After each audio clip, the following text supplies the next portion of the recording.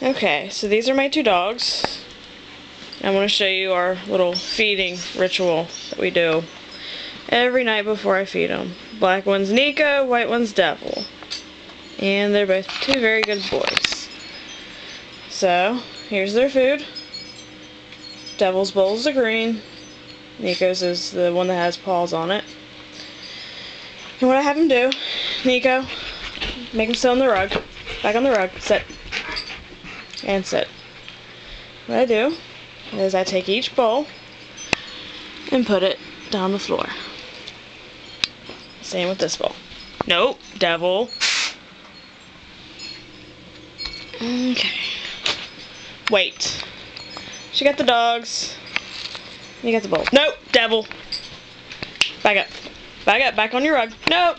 Nope. Wait. Wait.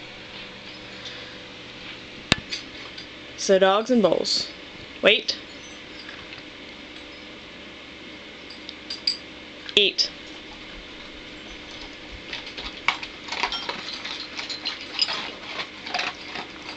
Devil's a fast eater. He doesn't get as much as Neko because he's old and a little overweight.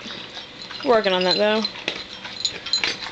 But everybody's like, well, what happens after Devil's done eating? He's the older man, he's the one in charge. Doesn't he try to steal Neko's food? So Neko's got a full bowl still, and Devil's pretty much licking his.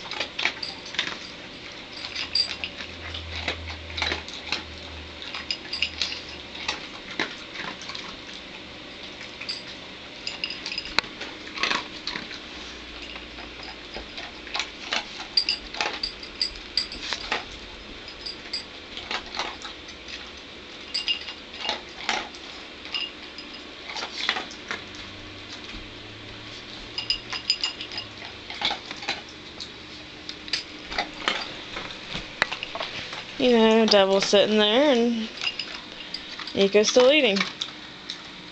No fights.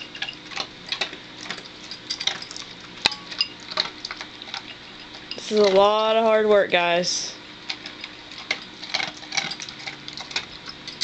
Two very good boys.